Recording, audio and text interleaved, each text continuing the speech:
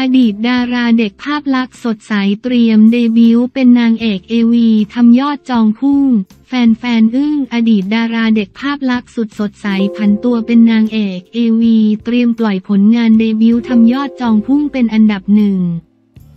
ดูเหมือนว่าจะเป็นเรื่องปกติในวงการเอวีที่มักจะเห็นไอดอลหรือนักแสดงมาโลดแล่นในวงการ แต่เมื่อเร็วๆนี้ได้เกิดการพูดคุยอย่างดูเดือดเมื่อ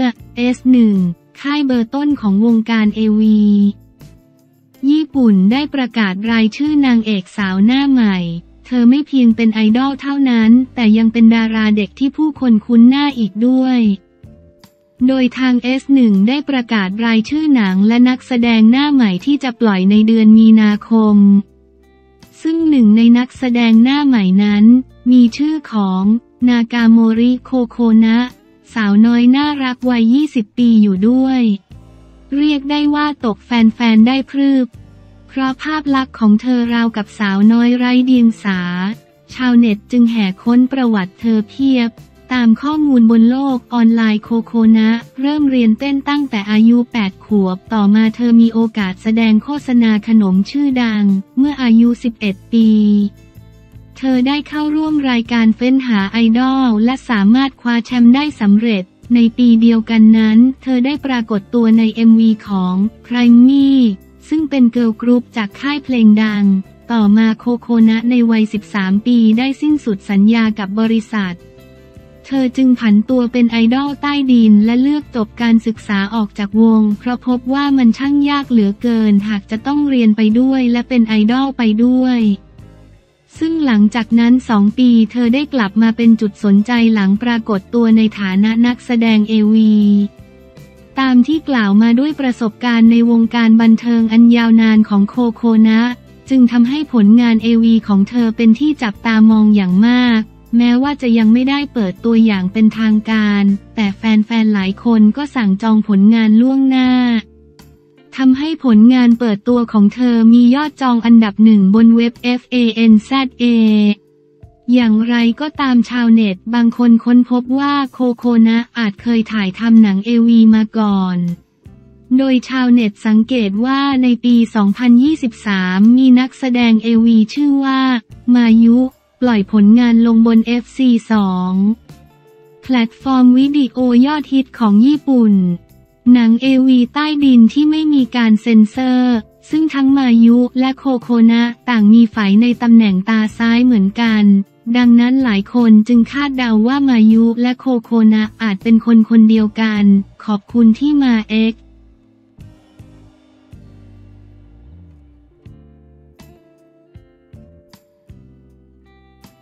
ในหลวงพระราชินีทรงประกอบพิธีสังเวยพระป้ายเทศกาลตรุษจีน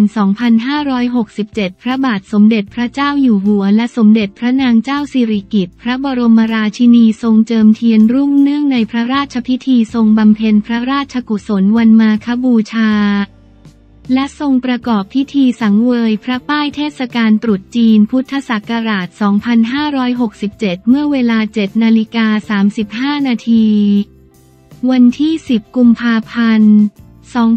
2567 พระบาทสมเด็จพระเจ้าอยู่หัว และสมเด็จพระนางเจ้าสิริกิติ์ พระบรมราชินีเสด็จออกณพระที่นั่งอัมพรสถานพระราชวังดุสิต ทรงเจิมเทียนรุ่งเนื่องในพระราชพิธีทรงบำเพ็ญพระราชกุศลวันมาคบูชา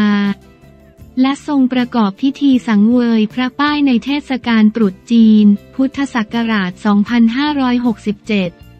ในการนี้พระบาทสมเด็จพระเจ้าอยู่หัวทรงพระสุราย ทรงเจิมเทียนรุ่งที่ทรงพระราชอุทิศถวายพระราชทานไปจุดบูชาพระรัตนตรัยถวายเป็นพุทธบูชาตามพระอารามหลวงต่างๆ เนื่องในพระราชพิธีทรงบำเพ็ญพระราชกุศลวันมาคบูชาจำนวนหกวัดได้แก่วัดพระศรีรัตนศาสดาราม วัดบวรนิเวศวิหารวัดเบญจมบพิษดุสิตวนาราม วัดราชบพิษสถิตมหาสีมาราม วัดราชประดิษฐ์สถิตมหาสีมาราม กรุงเทพมหานคร และวัดนิเวศธรรมประวัติ จังหวัดพระนครศรีอยุธยาจากนั้นเวลา 8 นาฬิกาหนึ่งนาที พระบาทสมเด็จพระเจ้าอยู่หัว และสมเด็จพระนางเจ้าสิริกิติ์พระบรมราชินีเสด็จลงณบริเวณด้านหน้าพระที่นั่งอัมพรสถาน พระราชวังดุสิตทรงประกอบพิธีสังเวยพระป้ายในเทศกาลตรุษจีน พุทธศักราช 2567 ในการนี้ พระบาทสมเด็จพระเจ้าอยู่หัวทรงจุดเทียนทองเทียนเงินธูปที่โต๊ะเครื่องสังเวยทรงจุดธูปหางแล้วทรงปักที่เครื่องสังเวย สมเด็จพระนางเจ้าสิริกิติ์พระบรมราชินีทรงจุดธูปหางแล้วทรงปัก ที่เครื่องสังเวย จากนั้นพระบาทสมเด็จพระเจ้าอยู่หัวทรงจุดธูปเทียนเครื่องทองน้อย ถวายสักการะสิ่งศักดิ์สิทธิ์ ทรงกราบสมเด็จพระนางเจ้าสิริกิติ์พระบรมราชินีทรงจุดธูปเทียนเครื่องทองน้อยถวายสักการะสิ่งศักดิ์สิทธิ์ทรงกราบเสร็จแล้ว พระบาทสมเด็จพระเจ้าอยู่หัว และสมเด็จพระนางเจ้าสิริกิติ์พระบรมราชินีทรงเผากระดาษเงินกระดาษทองสมควรแก่เวลาจึงเสด็จขึ้นพระที่นั่งอัมพรสถาน พระราชวังดุสิตพิธีสังเวยพระป้าย มีมาตั้งแต่สมัยพระบาทสมเด็จพระจอมเกล้าเจ้าอยู่หัว พระสยามเทวมหามกุฏวิทยมหาราช ตามที่ทรงมีพระราชดำริว่าการแต้มป้ายเป็นธรรมเนียมของชนชาติจีน ซึ่งนับถือบรรพบุรุษเป็นที่พึ่ง และเป็นการแสดงออกถึงความกตัญญูต่อมาในสมัยพระบาทสมเด็จพระจุลจอมเกล้าเจ้าอยู่หัว ทรงสืบสารพิธีดังกล่าว โดยมีการแต้มพระป้าย พระปรมาพิไทยพระบาทสมเด็จพระจอมเกล้าเจ้าอยู่หัว พระสยามเทวมหามกุฏวิทยมหาราช กับพระนามสมเด็จพระเทพสิรินทราบรมราชินี และทรงพระกรุณาโปรดเกล้าโปรดกระหม่อมให้เชิญพระป้ายไปประดิษฐานณพระราชวังบางปะอิน อำเภอบางปะอิน จังหวัดพระนครศรีอยุธยา ปัจจุบัน พระป้าย สำหรับประกอบพิธีสังเวยพระป้าย ประดิษฐานณท้องพระโรงกลางพระที่นั่งเวหาจำรูนพระราชวังบางปะอิน เป็นพระป้ายพระปรมาพิไทยของพระบาทสมเด็จพระจอมเกล้าเจ้าอยู่หัว พระสยามเทวมหามกุฏวิทยมหาราชกับสมเด็จพระเทพสิรินทราบรมราชินี และพระบาทสมเด็จพระจุลจอมเกล้าเจ้าอยู่หัว กับสมเด็จพระศรีพัชรินทราบรมราชินีนาถ พระบรมราชชนนีพันปีหลวงจารึก เป็นภาษาจีนบนแผ่นไม้จานปิดทอง และพระป้ายที่ประดิษฐานณพระที่นั่งอัมพรสถาน พระราชวังดุสิตซึ่งพระบาทสมเด็จพระจุลจอมเกล้าเจ้าอยู่หัว ทรงพระกรุณาโปรดเกล้าโปรดกระหม่อมให้สร้างขึ้นเป็นเทวรูปหล่อทรงเครื่องกษัตริยาธิราชเหมือนพระสยามเทวาธิราช แต่พระพักมีลักษณะคล้ายพระบาทสมเด็จพระจอมเกล้าเจ้าอยู่หัว พระสยามเทวมหามกุฏวิทยมหาราช สร้างด้วยไม้จันจำหลักลงรักปิดทอง มีฉัดทองห้าชั้นตั้งอยู่สองข้างและจารึกพระปรมาพิไทยเป็นภาษาจีนด้านหลังซุ้มเรือนแก้วพิธีสังเวย พระป้ายเป็นประเพณีที่สืบทอดกันมาอย่างยาวนาน พื่อรำลึกถึงคุณงามความดีและแสดงออกถึงความกตัญญูกตเวทีของลูกหลานที่มีต่อบรรพบุรุษ ซึ่งพระบาทสมเด็จพระเจ้าอยู่หัว ทรงยึดถือปฏิบัติอย่างสม่ำเสมอทรงพระกรุณาโปรดเกล้าโปรดกระหม่อมประกอบพิธีสังเวย พระป้ายนาพระที่นั่งอัมพรสถานพระราชวังดุสิต และทรงพระกรุณาโปรดเกล้าโปรดกระหม่อมให้ผู้แทนพระองค์ไปประกอบพิธีสังเวยพระป้ายณพระที่นั่งเวหาดจำรูนพระราชวังบางปะอิน ในช่วงเทศกาลตรุษจีนเป็นประจำทุกปี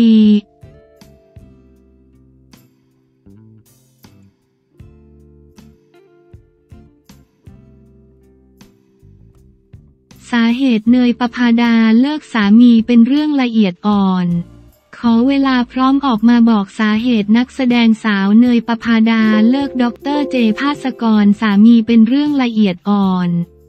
ขอเวลาเมื่อพร้อมจะออกมาพูดถึงเรื่องราวที่เกิดขึ้น จนเป็นสาเหตุที่ต้องแยกทางใช้ชีวิตคู่จนมีทายาทด้วยกันหนึ่งคน แต่ล่าสุดนักแสดงสาวเนยประพาดากลิ่นสุมาลย์แจ้งผ่านโซเชียลของตนเองว่าตอนนี้ตนเองและด็อกเตอร์เจภาสกรสกลสัตยาธรสามีได้ยุติความสัมพันธ์ฉันสามีภรรยากัน ตั้งแต่เดือนธันวาคม 2566 ผู้สื่อข่าวข่าวสดบันเทิงได้สอบถามไปผู้จัดการของนักแสดงสาว ถึงสาเหตุที่นักแสดงสาวเนยตัดสินใจเลิกกับสามี โดยผู้จัดการของนักแสดงได้เผยว่า สภาพจิตใจของน้องเนยดีขึ้นในระดับหนึ่งแล้ว และคิดว่าถึงเวลาที่น้องคงต้องออกมาบอกถึงเรื่องที่เกิดขึ้น